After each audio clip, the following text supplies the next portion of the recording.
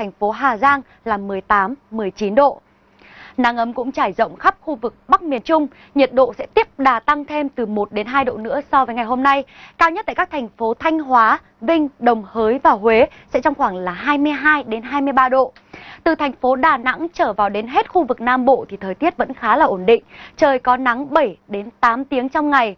Các thành phố ở khu vực Nam miền Trung cũng như các thành phố ở khu vực Tây Nguyên, nhiệt độ cao nhất ngày mai sẽ trong khoảng là từ 26 đến 29 độ, trời vẫn khá mát mẻ. Nhưng ở khu vực Nam Bộ, nhiều nơi như là tại thành phố Hồ Chí Minh, thành phố Biên Hòa, Thủ Dầu Một, Tây Ninh hay là Cần Thơ, nhiệt độ từ 32 đến 34 độ, khá nóng. Trời khô với độ ẩm buổi trưa không vượt quá mức 48%. Chuyển sang thời tiết biển, không khí lạnh suy yếu nên thời tiết các vùng biển cũng đang dần chuyển tốt lên. Khắp vùng biển từ khu vực Vịnh Bắc Bộ trở xuống Ninh Thuận, ra ngoài khơi khu vực Bắc Biển Đông, trong đó có huyện đảo Hoàng Sa, trời ít mưa, gió đây chỉ khoảng là cấp 3 đến cấp 5 và tầm nhìn xa trên 10 km.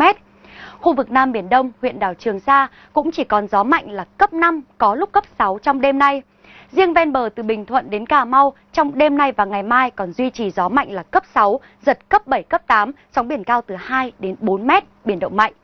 Vùng biển quanh hai quần đảo Thổ Chu và Phú Quốc, gió đây chỉ khoảng là cấp 4 và tầm nhìn xa trên 10 km, trời ít mưa.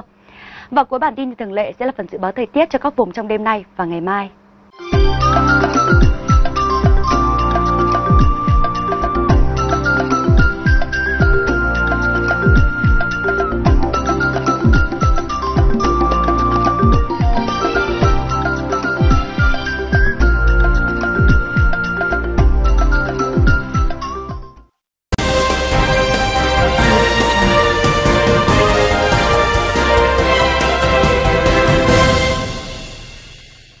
Xin kính chào quý vị và các bạn. Quý vị và các bạn đang theo dõi chương trình thời sự của Đài Phát thanh Truyền hình Con Tum trên kênh KRT.